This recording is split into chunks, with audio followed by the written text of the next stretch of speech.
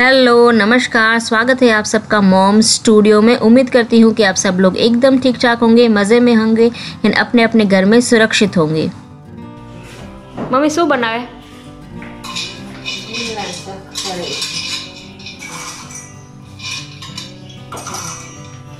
Pure Kathiawadi શાક pure Kathiawadi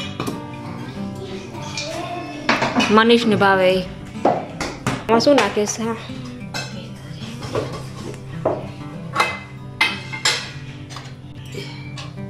सिंगदाना जीरू, लाल मिर्च, हल्दी पाउडर एंड थोड़ा सा salt and sugar Kathiawadi dish हो और शुगर ना हो, वैसा तो पॉसिबल नहीं है.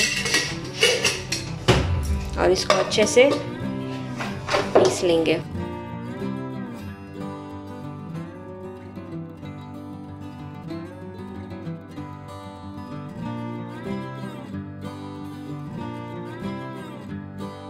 तो इसमें जो मसाला हमने पीसा था वो डाला है एंड थोड़ा अंदाजे से चने का आटा डाला है या बेसन।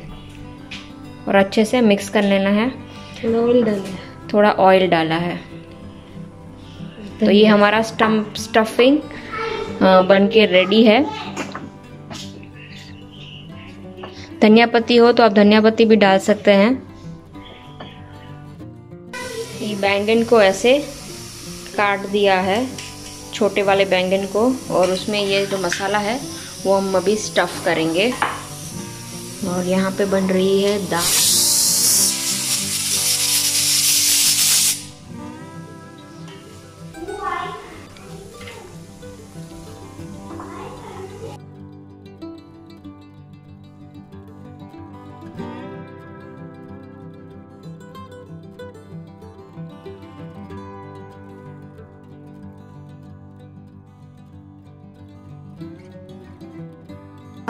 ये है आलू और आलू को ऐसे चिप्स के फॉर्म में काट दिया है और ये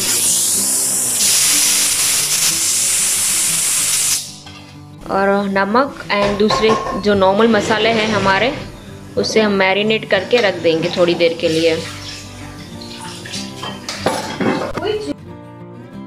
और अभी सारा मसाला मम्मी आलू में मिक्स कर रही है। अगर आप चाहें तो इवन आप इवन अनियंस आते हैं, छोटे वाले उसको भी स्टफिंग से फिल कर सकते हैं और टमाटर काट के लगा रही है। और उसके बाद हम लोग राई जीरे का तड़का लगाएँगे और तड़के के लिए ऑयल लिया है, इसमें थोड़ा ज़्यादा ऑयल लगेगा। तो दो या टू टेबल स्पून जितना ऑयल जाएगा, राई जाएगी और जीरा जाएगा एंड थोड़ी सी हिंग एंड उसके बाद हम लोग सबसे पहले इसमें आलू डालेंगे और आलू को अच्छे से कुक कर लेंगे और उसके बाद हम बैंगन डालेंगे। और अगर आपके पास अनियन है तो आप अनियन भी इसमें डाल सकते हैं। एंड यस अगर आपके पास छोटे वाले आलू मिल जाए तो भी आप अनियन की तरह फिल करके यूज़ कर सकते हैं। मगर मस्कत में छोटे वाले छोटे वाले जो आलू रहते हैं या अनियन रहते हैं, वो इतने इजीली अवेलेबल नहीं होते हैं। तो ये एक वे है जिससे मम्मी बनाती है। बस अभी आलू एक एक कर बैंगन को ऐसे ही छोड़ के, पानी डाल के, ढक के रख देंगे। उसको बार बार हिलाना नहीं है, सिर्फ़ अपने आप में ये पक के रेडी हो जाएगा।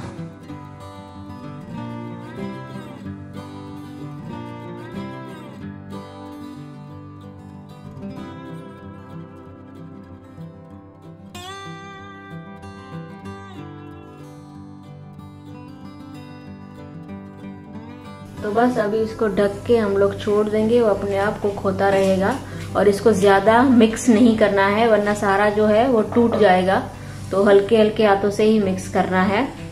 एंड स्लो फ्लेम पे कुक होते देना है।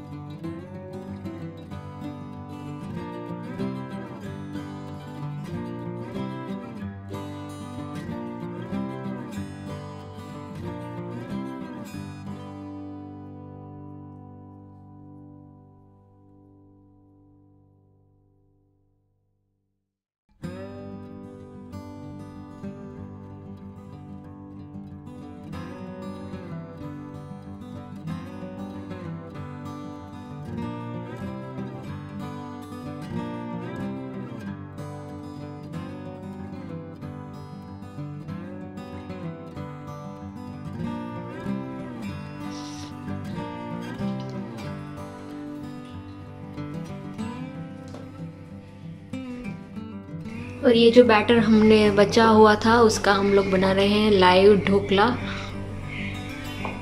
इसमें ना इनो डाला है, ना सोडा डाली है, कुछ भी नहीं राइजिंग एजेंट कुछ भी नहीं है। फिर भी ये बहुत टेस्टी लगते हैं। इसमें सिर्फ़ अदरक, मिर्च और धनिया पत्ती को अच्छे से कूट के डाला है, नमक डाला है एंड थोड़ी सी हल्दी, बस। ऊपर से लाल मिर्च और ये गर्मा गर्म तेल के साथ खाने में बहुत मज़ा आता है।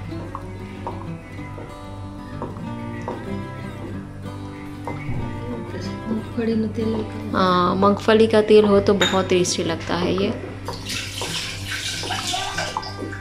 ये अहमदाबाद राजकोट साइड में आपको लाइव ढोकले का बहुत सारी स्ट्रीट फ़ूड मिलेगा। तो बस ऐसे ही बनाते हैं अलग अलग फ्लेवर्स के। फ्लेवर्स वो मिलते हैं अभी चाइनीज़ फ्लेवर इटालियन फ्लेवर मगर ये जो देसी फ्लेवर है, उसको कोई बीट नहीं कर सकता। और यहाँ पे हम लोग बना रहे हैं puff pastry easily puff pastry squares मिलते हैं रोल्स भी मिलते हैं ईजिली मार्केट में अवेलेबल है। तो बहुत ही टेस्टी एंड फटाफट से बन जाता है ये। और उसके लिए मैंने आलू बॉईल करके डाल रही हूँ। उसके बाद अदरक, मिर्च और धनिया पत्ती।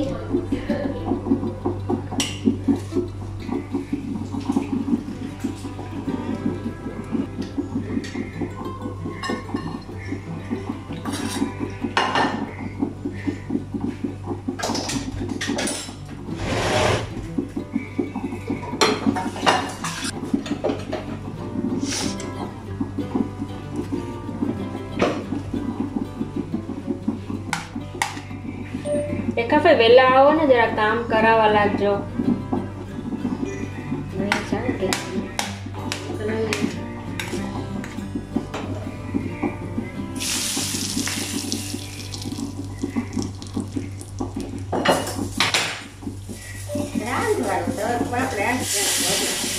હા બસ આપણે એટલા જ કોઈ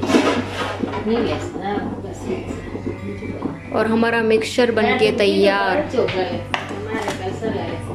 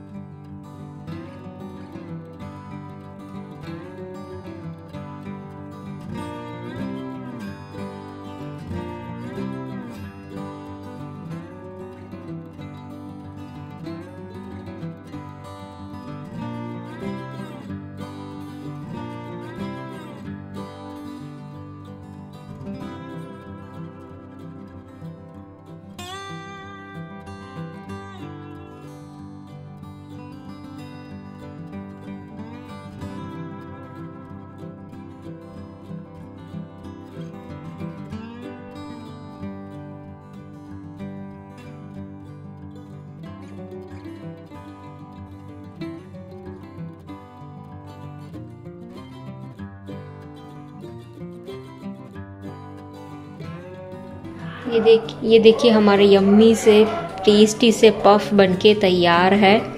बहुत टेस्टी बनते हैं और एकदम बाहर जैसा टेस्ट आता है, ये मस्ट ट्राई है। और ऊपर से एकदम क्रिस्पी अंदर से एकदम सॉफ्ट और फिलिंग आप अपने टेस्ट के हिसाब से डाल सकते हैं। या चीज़ डाल दीजिए, या न्यूट्रेला डाल दीजिए, पनीर, कुछ भी।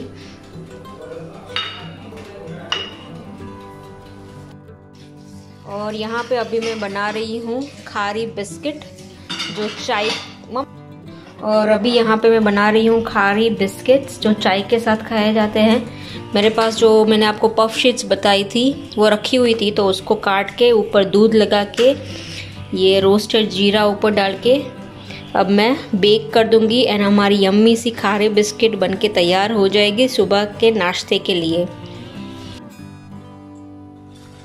ये देखिए, हमारी खारे बिस्किट्स बन के तैयार है। परफेक्ट चाय के साथ खाने में बहुत मज़ा आता है तो अगर आपके पास पफ शीट्स हैं तो सिर्फ़ काट के लगा दीजिए।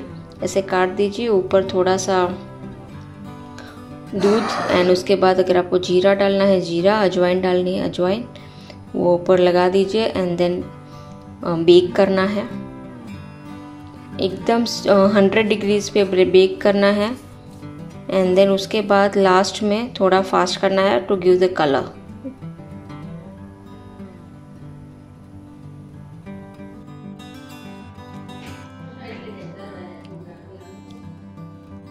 ये है बचपन की कुछ यादें। ये देखिए, इमली, नमक और रेड चिली पाउडर स्कूल के बाहर मिला करते थे। एंड इवन बाज़ार में भी ऐसे थैले लगा के बैठा करते थे full of vitamin C natural vitamin C और बच्चे बहुत खाते थे। तो आज पापा लेकर आए हैं।